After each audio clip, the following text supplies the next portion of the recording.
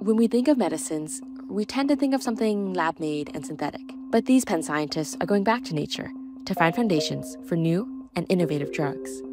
We recently discovered a new class of compounds produced by Aspergillus flavus, the same strain linked to the legendary pharaoh's curse. We discovered this uh, new class of compounds and we test their activity towards killing cancer cells. By making small chemical tweaks, uh, we found this uh, chemical can actually kill immune cells.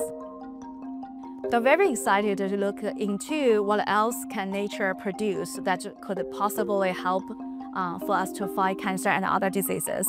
They're also using artificial intelligence to accelerate the rate of discovery of new drug candidates from years to hours. That shift in the paradigm that we utilize to identify new antibiotics has, has enabled a lot of uh, projects in my lab, one of which has been looking at venom. Now with AI, we can uh, digitally explore all the venomic data uh, that is out there in, in, databases. So that's what we've done recently. Instead of years, now we can uh, identify new molecules in a few hours. We get to remove the fiction part of science fiction, and we get to actually create the science of the future.